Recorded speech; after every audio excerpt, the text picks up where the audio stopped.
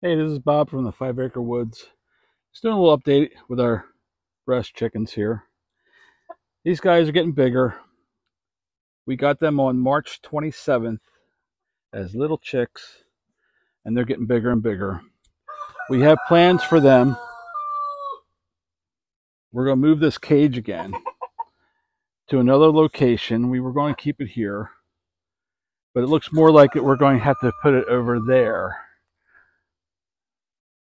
because we want to run an outdoor run for them on this side of the cage. This door will be modified somehow. We'll let them out and it will be like a tunnel, not closed off at the top like you can't see them or something in between the, the crows of, of a rooster.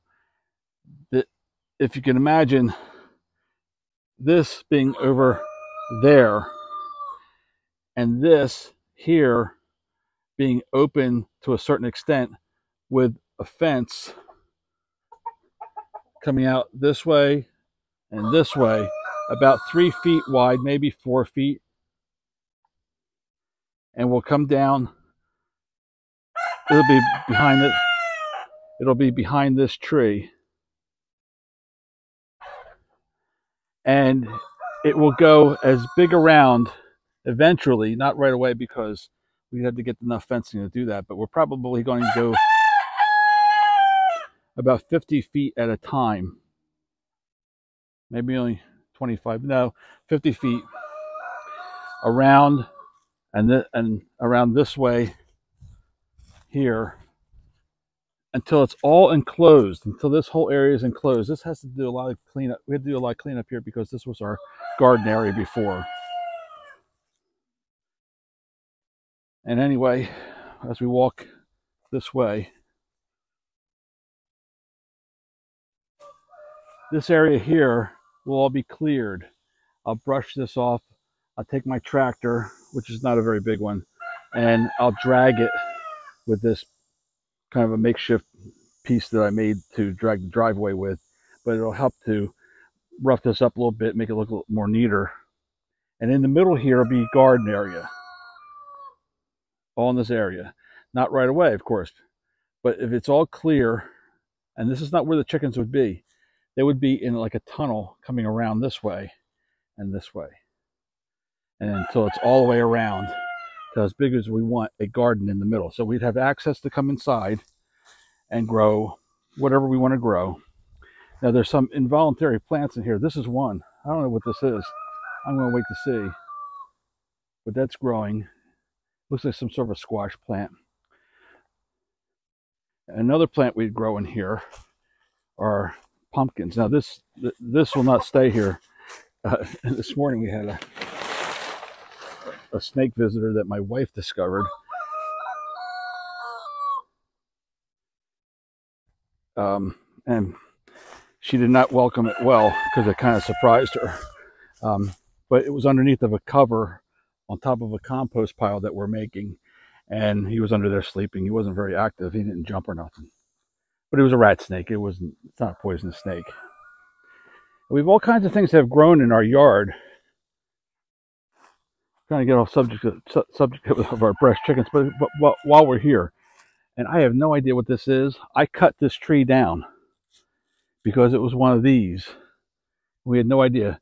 Look at the size of these leaves. They're gigantic.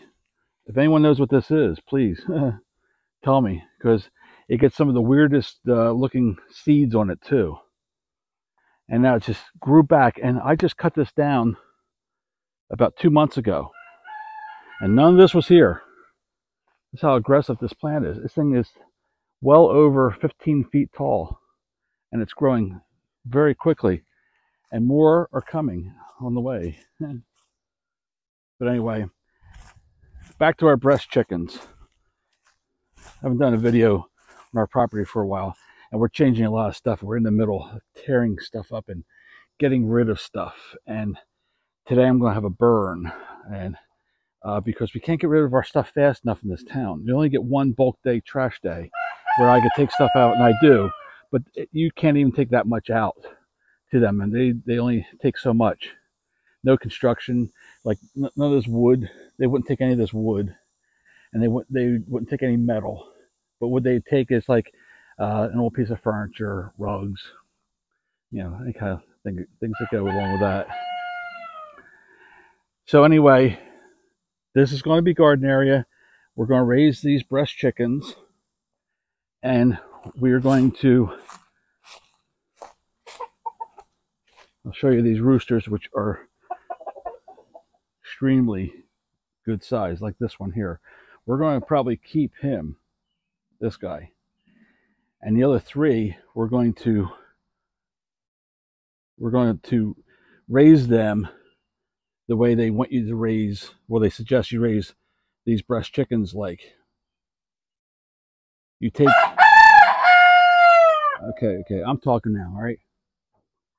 you take whatever amount you have. Now we only have like three to work with, and one of our neighbors wants one of our our roosters, which we're glad to give them because we trade stuff back the forth all the time. So we'll have two, and we're going to separate them out, and we're going to. I'll show you. I'll, I, I may cut this walking out back and forth. Cut this out of the video, but then again, we have so much to do. Uh, we had a little emergency yesterday. My daughter had to go into the hospital for a couple days, but she's back now. Anyway, this is usually what we're using for uh, our rabbits when we when we raise the rabbits. Now this guy is not a eating rabbit. He's a he's a pet. And what I'm going to do is I'm going to take him out of here and put him in a smaller cage, which is not that small, but this is too big for him. And we're going to put the, the two Bresse chickens in here and while they're in here, they got to go into a darkened place. And I'm too ashamed of my shed to show you where they're going to go, but I'm going to put them in there. They have to be kind of a dark. It doesn't have to be dark.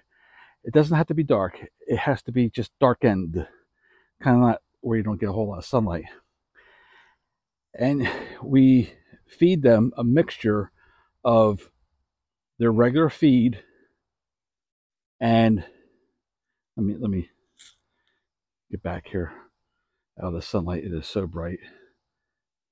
What we're going to do, we're going to uh, give them a mixture of their regular feed and raw milk, and it's a mixture, kind of like a, uh, kind of looks like oatmeal when you're when you're done.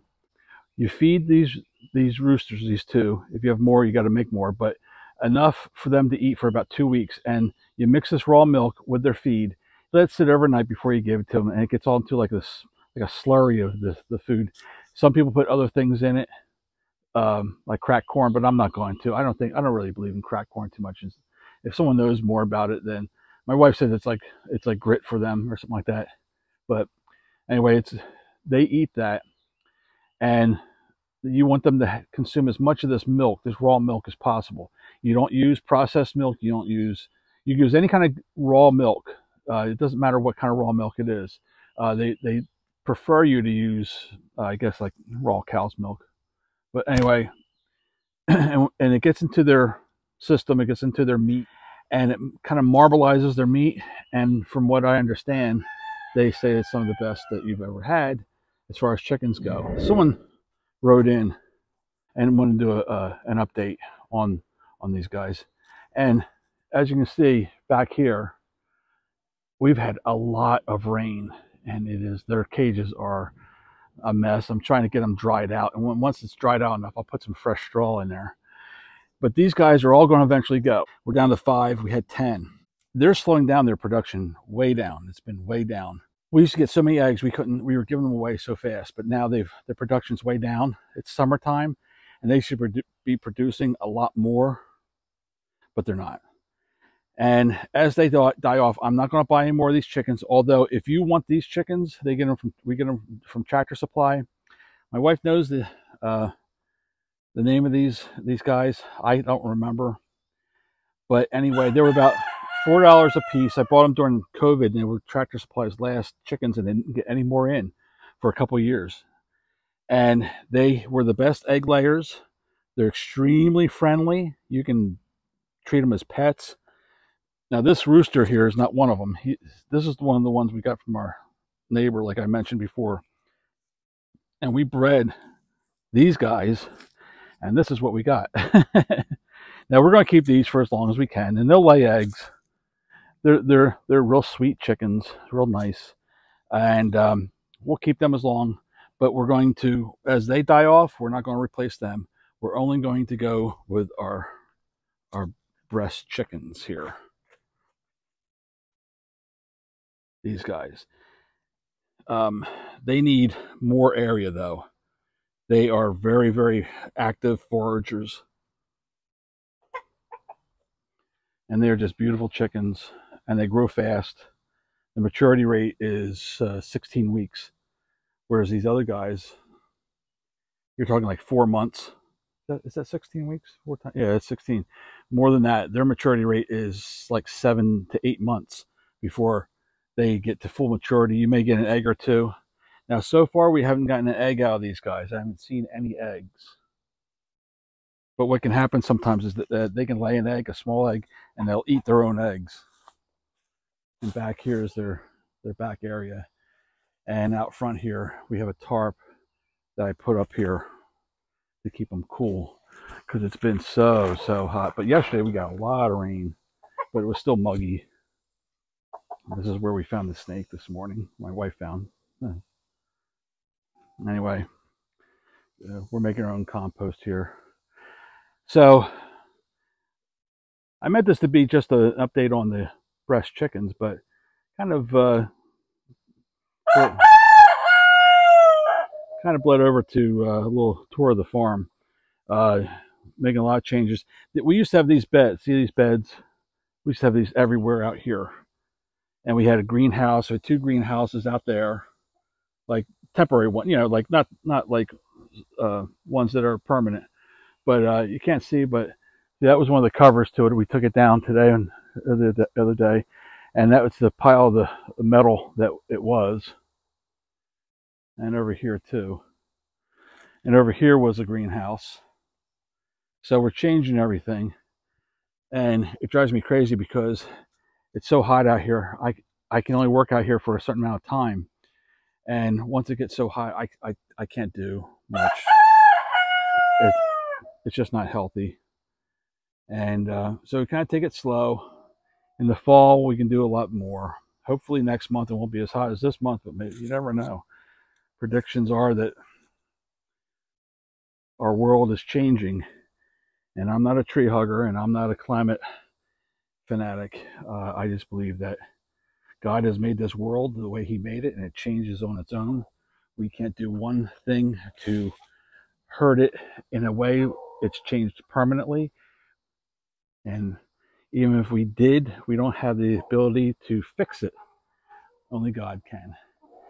But just imagine for a minute if everyone just stopped doing everything, all the plants would take over.